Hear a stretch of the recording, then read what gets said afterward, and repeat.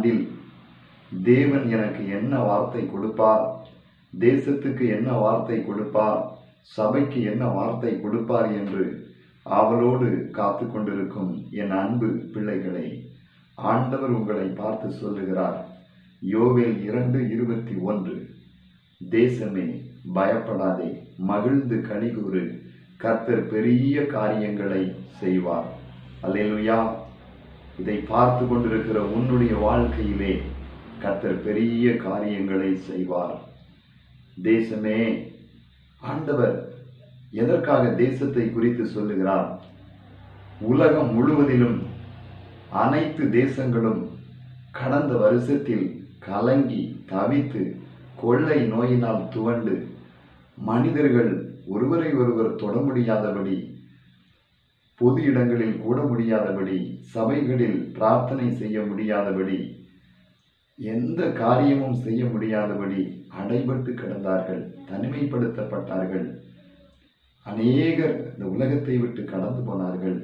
ஆனால் ஆண்டவர் சொல்லுகிறார் உலகம் அனைத்துக்கும் தேசத்தை பார்த்து தேசமே நீ பயப்படாதே பயப்படாதே.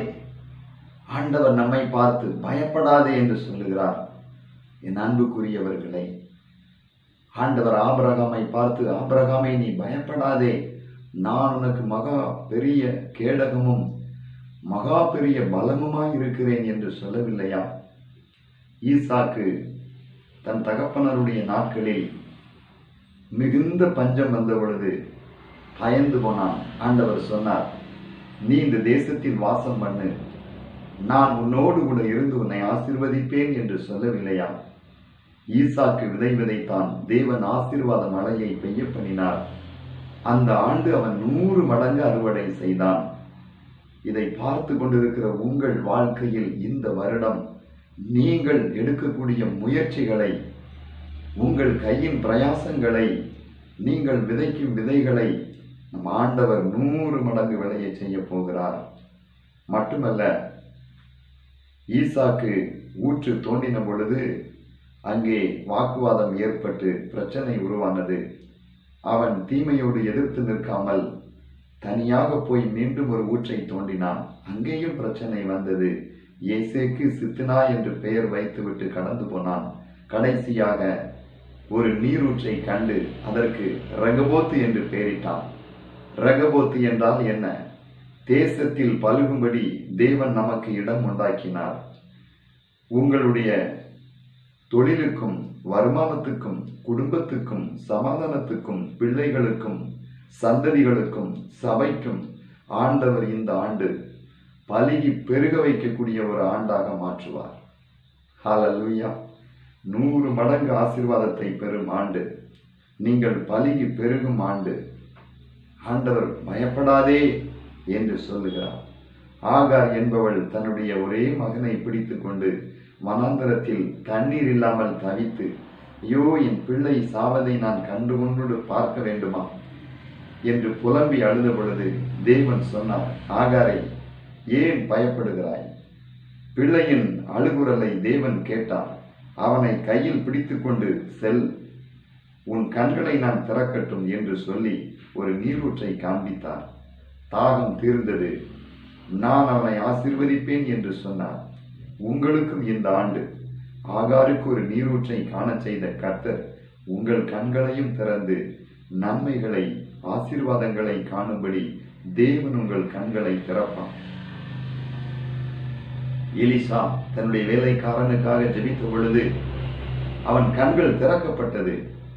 அவர்களோடு இருப்பவர்களை பார்க்கிலும் நம்மோடு இருப்பவர்கள் அதிகம் என்று கண்டு கொண்டான் நம்முடைய ஆண்டவர் திறக்கிற தெய்வமாக இருக்கிறார். வெண்கல கதவுகளை உடைத்து இரும்பு தாழ்பால்களை முறித்து அந்தகாரத்தில் இருக்கிற பொக்கிசங்களையும் ஒளிப்படங்களில் உள்ள புதையல்களையும் உங்களுக்கு இந்த ஆண்டு தருவார். வானத்தின் பலகணிகளை உங்களுக்காக திறப்பார். திறந்த வாசலை உங்களுக்கு முன்பதாக வைப்பார். நம்முடைய ஆண்டவர் கல்லறைகளை திறக்க வல்லவர். உங்களுக்கான வழிகளை திறப்பார். தைரியமாயிருங்கள். என் அன்புக்குரியவர்களே ஹalleluya மட்டுமல்ல வேதம் என்ன சொல்லுகிறது? பயப்படாதே மகிழ்ந்து கழிகூறு என் அன்பு தெய்வ பிள்ளைகளை சந்தோஷமாயிருங்கள் இருங்கள். கர்த்தருக்குள் இருப்பதே நம்முடைய பலன் என்று வேதம் நமக்கு சொல்லுகிறது. உங்கள் கவலைகளை கண்ணீரை துடைப்பார். ஏசாயா அறுபத்தி ஆறில் ஆண்டவர் சொல்லுகிறார் இந்த ஆண்டு நான் உங்களை ஒரு தாய் தேற்றுவது போல நான் உங்களை தேற்றுவேன். எருசிலேமில் வைத்து நான் உங்களை தேற்றுவேன். எருசிலேம் என்பது என்ன? தேவனுடைய ஆலயம். இந்த ஆண்டு நீங்கள் ஆலய ஆராதனையை ஒருபோதும் நீங்கள் விடக்கூடாது. அவருடைய வேதத்தில் தியானமாய் இருந்து அவரையே நீங்கள் பிடித்து கொள்ள வேண்டும். அப்பொழுது நீங்கள் செய்வது எல்லாம் வாய்க்கும். மட்டுமல்ல வேதம் என்ன சொல்லுகிறது? கத்தருடைய ஆலயத்திற்கு போவோம் வாருங்கள் என்று சொன்ன பொழுது நான் மனமகிழ்ச்சியா இருந்தேன் என்று சொல்லுகிறது அல்லவா ஆகாமிய கூடாரத்தில் ஆயிரம் நாள் இருப்பதை பார்க்கிலும் ஆண்டவருடைய ஆலயத்தின் வாசற்படியில் இருப்பது எத்தனை நன்மை? அங்கு என்னதான் ஆண்டவர் நமக்கு செய்கிறார்? தாவிது சொல்லுகிறான் நான் ஆண்டவருடைய ஆலயத்தில் ஒலிவ மரத்தை போல நடப்பட்டு ஆண்டவருக்காக நான் பலன் கொடுப்பேன். ஆண்டவர் அமுக்கி குலுக்கி சரிந்து போக மட்டும் அங்கே உங்களை ஆசீர்வதிப்பார். தேவன் தன்னுடைய பரிசுத்த ஆலயத்தில் இருக்கிறார். வானத்தின் பலகணிகளை திறந்து உங்களை ஆசீர்வதிக்கக்கூடிய இடம் அந்த தேவனுடைய ஆலயம். ஆண்டவர் ஏழு பொன் குத்து விளக்குகளின் மத்தியில் உலாவுகிறார். நீங்கள் செல்லக்கூடிய ஆலயம் கத்தர் உலாவக்கூடிய குத்து விளக்கு. அதிலே எண்ணெயும் விளக்கும் வெளிச்சமும் வேதமும். ஓ எவ்வளவு மகிமையை ஆண்டவர் உங்களுக்கு தருகிறார். இந்த ஆண்டு உங்களை உலகத்தில் உள்ள எந்த மனுஷனையும் பிரகாசிப்பிக்கக்கூடிய ஒளி உங்களை பிரகாசிக்க செய்வார். அல்லையா என் அன்புக்குரியவர்களே வேதம் நமக்கு என்ன சொல்லுகிறது? ஏசாயா நாற்பத்தி மூன்று பதினெட்டு. முந்தினவைகளை நினைக்க வேண்டாம் பூர்வமானவைகளை சிந்திக்க வேண்டாம். இதோ நான் புதிய காரியத்தை நான் செய்கிறேன். என்ன செய்ய போகிறார்? இப்பொழுதே அது தோன்றும். அதை நீங்கள் அறியீர்களா? நான் மனாந்தரத்திலே வழியையும் அவாந்தர வழியிலே ஆறுகளையும் நான் உண்டாக்கப் போகிறேன். வழி இல்லை ஆண்டவரே. என் கடனை அடைக்க வழி இல்லையா? என் கண்ணீரை துடைக்க வழி இல்லையா? ஐயோ இந்த வியாதியினால் நான் சாகப் போகிறேனா? என் பிள்ளையை திருமணம் செய்து கொடுக்க வேண்டுமே. நான் ஒரு வீடு கட்டி கொண்டிருக்கிறேன். அதை முடிக்க முடியுமா? என் பிள்ளைகளுக்காக நான் எதுவும் சேர்த்து வைக்கவில்லை. என்று நீங்கள் புலம்பிக் கொண்டிருப்பதை ஆண்டவர் அறிவார். கலங்காதிருங்கள் வேதம் சொல்லுகிறது. நாளை தினத்தை குறித்து கவலைப்படாதிருங்கள். கத்தரை தேடுங்கள் பரலோக ராஜ்யத்தை தேடுங்கள். எல்லாம் உங்களுக்கு தருவார். கத்தரை தேடுகிறவர்களுக்கு ஒரு நன்மையும் குறைவுபடாது. அன்புக்குரியவர்களை நான் பேசும் பொழுதே உங்களுக்கு அற்புதம் செய்வார். கண்டிப்பாக அபிஷேகம் நுகங்களை முறிக்கும். ஆவியானவர் எங்கே உண்டோ அங்கு விடுதலை உண்டு. நான் பேசும் வார்த்தைகளில் பரிசுத்தமுள்ள இயேசு வார்த்தையினால் வந்து உங்களை விடுதலையாக்கி கொண்டே இருப்பார். ஆண்டவர் சொல்லுகிறார் எனக்கு வழியே இல்லை என்று அங்கலாய்த்து கொண்டிருக்கிறாயா? உனக்கு ஒரு வழியை ஆண்டவர் உண்டாக்கப் போகிறார்.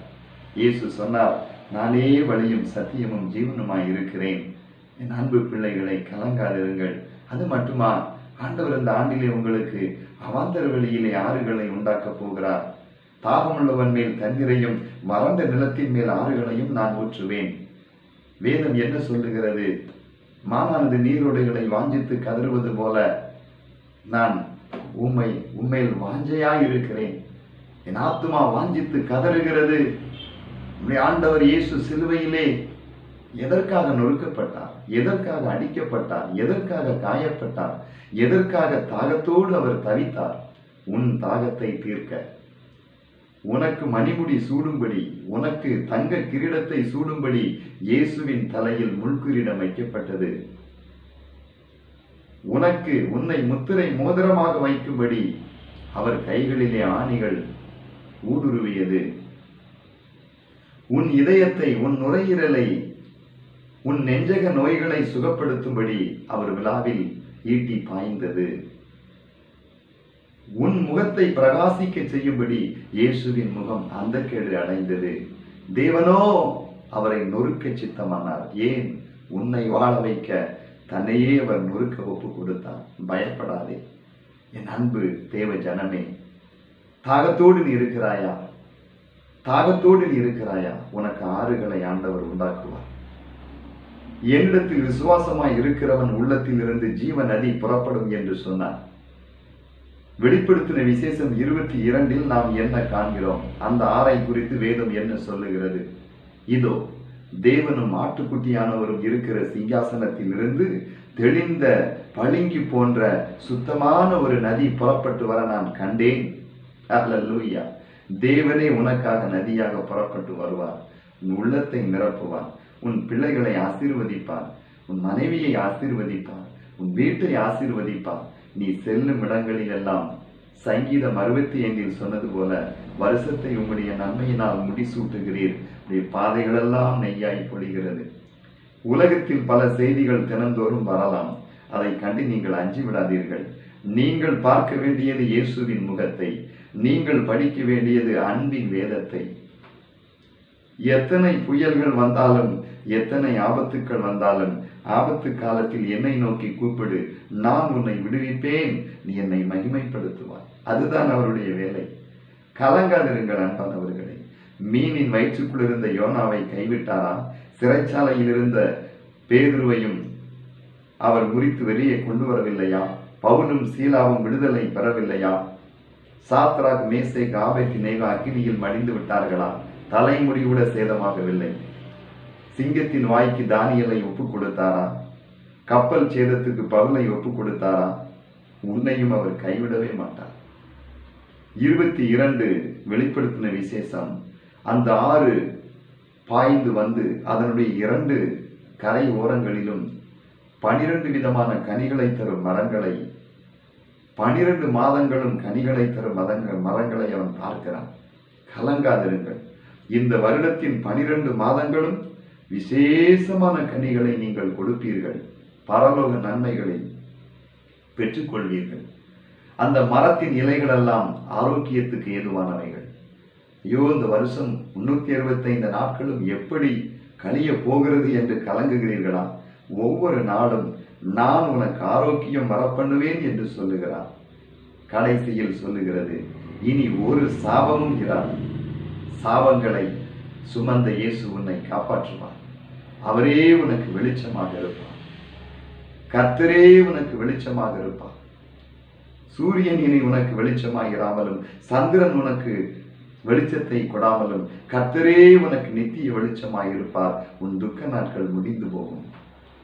ஹalleluya துஷ்டன் உன் வழியாய் இனி கடந்து வரான். அவன் முழுவதும் சங்கரிக்கப்பட்டான். இனி நீ அழுது கொண்டு இராய். என் அன்புள்ள தகப்பனே இந்த இரண்டாயிரத்தி இருபத்தி ஒன்றாவது ஆண்டிலே என் பிள்ளைகளுக்கு நீர் சொன்ன வார்த்தை எசப்பா இந்த வார்த்தை சொல்லுகிறது தேசமே நீ பயப்படாதே மகிழ்ந்து கலிகூறு கத்த பெரிய காரியங்களை செய்வார் என்று சொன்னீரே உமக்கு நன்றி அப்பா.